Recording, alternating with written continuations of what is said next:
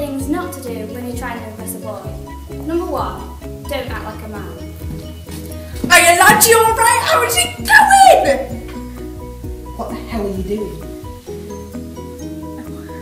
Just go away, yeah?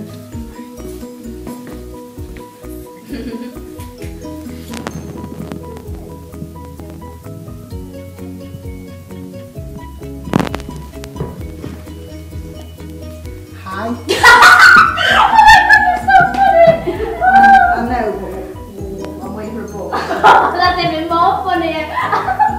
Mentally ill.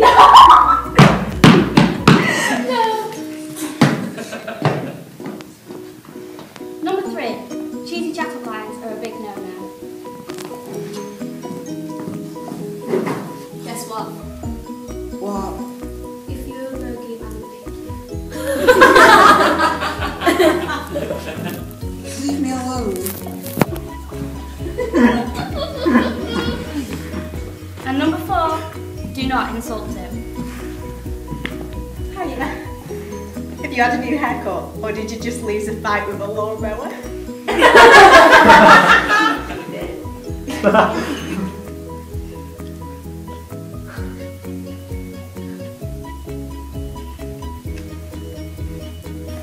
The best thing to do is Just be yourself.